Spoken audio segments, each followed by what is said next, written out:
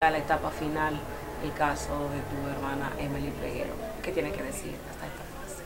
Que queramos justicia. Que paguen por lo que ellos hicieron. ¿Cómo era la relación de Lady y Emily? Muy buena. Emily era nada más risa.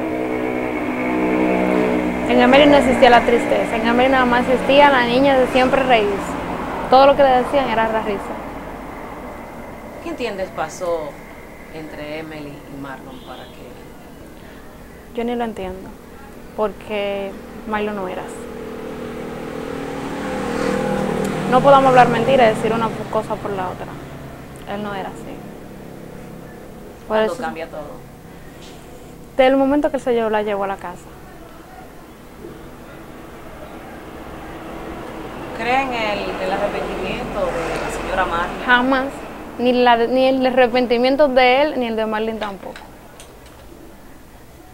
Claro que no. Porque a simple vista se veía que yo ninguno de los dos están arrepentidos. En, en ese transcurrir, eh, ya un año aproximadamente y meses, ¿cómo ha sido este proceso para la familia Peguero Polanco? Muy fuerte. Tal vez el mundo cuando nos ven llegar, que nos ven alguna vez riéndonos, que llegamos riéndonos, esa no es la realidad. Es muy difícil cuando tú llegas, reír, cuando tú llegas a la casa vuelve a la misma realidad. Que ella no es... Ya son un año y meses pidiendo una justicia que todavía no ha llegado. ¿Piensa que llegará? Claro, la fe mueve montaña y nosotros tengamos esa fe. El entorno, el espacio en que convivía Emily Peguero. Bien. Luego de, de se entera la familia del embarazo, manifestó ella, o dio a entender alguna situación de que algo no estaba bien o de que No. Al contrario, ella estaba muy contenta, muy feliz. Ella me dijo cuando eh, eh, mami la llevó a hacer la sonografía que salió varón. Manita, tú vas a tener un, un sobrino varón. Y yo feliz porque me fascina el muchacho varón. ¿Qué tiene que decir Lady a las cámaras en este momento? A, a un paso de conocerse una condena contra, una posible condena contra Mario. Que se haga justicia. Que esperamos que se haga justicia. Y que este caso de Emily sea de ejemplo del país. Que con el caso de Emily la justicia haga su ejemplo.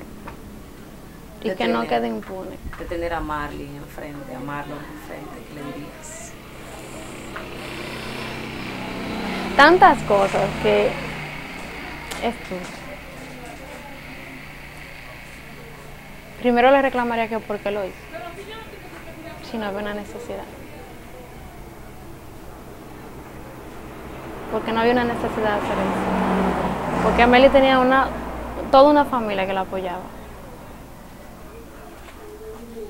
¿Alguna vez se dio a entender la diferencia de clases sociales? Con Marlene sí. Porque ella era muy arrogante. Ella se hacía creer como que ella era más que todo el mundo. Con él no. Que él todo el tiempo se le veía muy pacífico. Incluso uno lo veía jugando en la calle con los mismos niños del, del, del- del barrio. Nunca lo- no lo veía con niños de clases sociales. Pero su mamá no. Su mamá no quería que él se juntara con ese tipo de niños, pero él lo hacía cuando ella no estaba. Pero en ella sí se le ve la indiferencia de la clase social. Esa arrogancia de ella, que ni tan donde ella está se le pasó arrogancia. ¿Entiendes que no ha cambiado? No.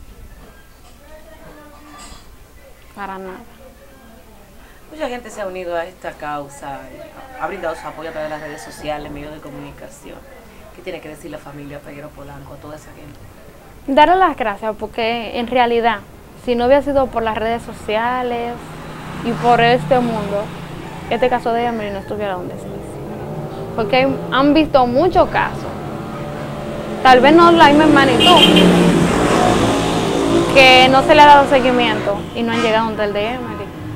Y si el caso de Emily hoy está donde está es gracias a ese público, a esa gente, a ese mundo y a esas redes sociales.